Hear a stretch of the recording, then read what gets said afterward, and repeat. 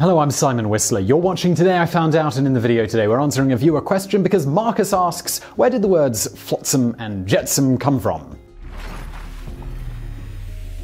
Bumping into a rock or a reef, war, swamped by rough weather or high waves, pilot error, or maybe pirates, there are a variety of ways a ship can sink. After it does, depending on whether it floated out on its own, was thrown overboard, or sank to Davy Jones's locker, the equipment, cargo, and bits of ship that leave a wreck have distinct names, with the distinction classically being important in maritime law. Flotsam denotes that wreckage from a ship that is later found floating on the sea's surface. The word traces its roots to the early 1600s and the Anglo French flottisson, which derived from the Old French flottaison, meaning a floating. The word in English was spelled flotsam until the mid 1800s when it took on its more modern variant. Jetsam, first seen in the mid 1500s, is the stuff that was purposefully thrown off a ship by its crew to lighten its load, usually during troubling times, and is then washed ashore. This word is a modification and contraction of the Middle English jettison, itself from the Anglo French gettison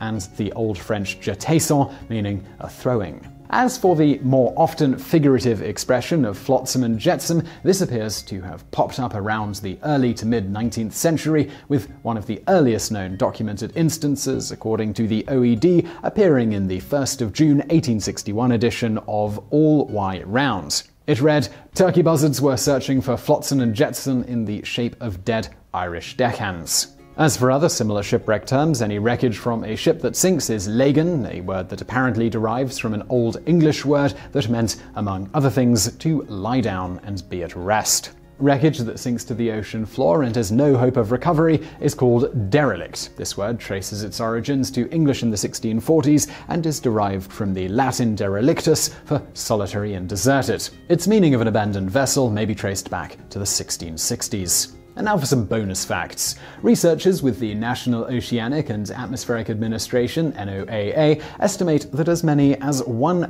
million shipwrecks remain underwater in the world's oceans, and a majority of these remain undiscovered. For example, during the 300 year Spanish plunder of the Americas, it is estimated that 10% of what was shipped off was lost. These wrecks are today collectively worth several billion dollars. At least one treasure hunter estimates that there remains approximately $60 billion worth of Lagan resting on the floors of the world's oceans. And now for another bonus fact. One recovered wreck in 2012, the HMS Victory that sank in the English Channel in 1744, contained 4 tons of gold coins, worth, if auctioned for their historical value, up to $1 billion, although the gold itself was only worth about $160 million. And now for another bonus fact. A risky business, treasure salvagers, sometimes have their finds taken away. For example, in 2012, the US Supreme Court affirmed the 2009 decision of a lower federal court that the treasure hunters' claim to $600 million in found gold and silver was insufficient to defeat other claims by the Spanish government. Adding insult to injury, the treasure hunters, Odyssey Marine Exploration, were also eventually ordered to pay a portion of Spain's legal fees in prosecuting the suit. Learning from the experience before beginning a subsequent salvage operation of the Victory in 2012, Odyssey negotiated an agreement whereby they would document the site prior to salvage and then recover items of historical significance that would be given to the claimant, Maritime Heritage Foundation, which received the title for the wreck from the British authorities. In exchange, the foundation will pay Odyssey for the items recovered. So I really hope you enjoyed that video. Don't forget to subscribe to this channel for brand new videos every day of the week. Also, I've got a podcast. It's called Brain Food. It's content just like this, but in the podcast form. We go into a bit more depth and really get into all of the details on a particular subject. Check it out through the links in the description below, or just search your favorite podcast app for Brain Food. And if you like this YouTube channel, I think you will really love that podcast. But if you want to watch something else right now, check out a related video from the past over there on the right.